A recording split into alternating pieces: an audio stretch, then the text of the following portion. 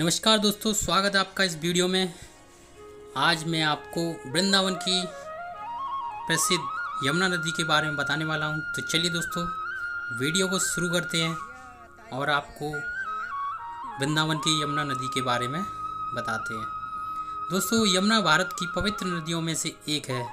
यह उत्तराखंड के हिमालय में छः या तीन सौ सतासी मीटर की ऊंचाई पर स्थित यमुनोत्री ग्लेशियर से निकलती है।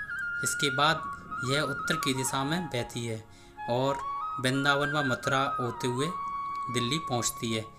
केसी घाट के पास यमुना नदी का हिस्सा काफ़ी पवित्र माना जाता है। ऐसा माना जाता है कि केसी नामक दुष्ट का वध करने के बाद भगवान कृष्ण ने यहाँ स्नान किया था। हिंदू धर्म में ऐसी मान्यता है कि यहाँ डुबकी लगाने से सारे पाप धुल जाते हैं। यहाँ ऐसी कई घाट हैं जहाँ पर कई धार्मिक क्रियाएँ की जाती हैं। यहाँ सुबह शाम अत्याधुनिक आरती भी होती है। मथुरा के वृंदावन में यमुना नदी का बड़ा धार्मिक महत्व है। इस नदी का धार्मिक महत्व और बढ़ जाता है कि भगवान कृष्ण ने यहाँ पर अपना समय व्यतीत किया। भगवान कृष्ण को उनके पिता वासुदेव यमुना नदी से होकर ले गए थे।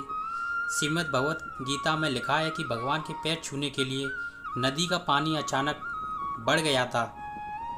मथुरा के वृंदावन में यमुना नदी में स्नान करने की बहुत धार्मिक महत्व है।